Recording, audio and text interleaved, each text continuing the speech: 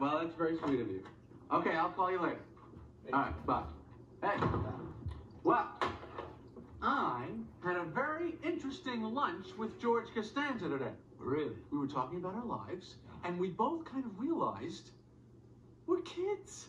We're not men. So then you asked yourselves, isn't there something more to life? Yes, we did. Yeah, well, let me clue you in on something. There isn't.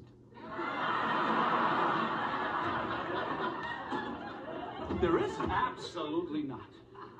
I mean, what are you thinking about, Jerry? Marriage? Family?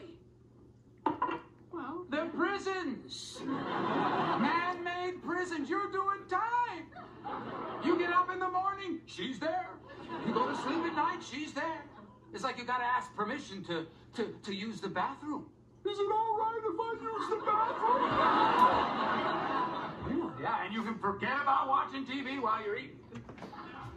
I can? Oh, yeah. You know what? Because it's dinner time. And you know what you do at dinner? What?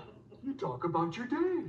How was your day today? Did you have a good day today or a bad day today? Well, what kind of day was it? Well, I don't know. How about you? How was your day? Boy, it's sad, Jerry.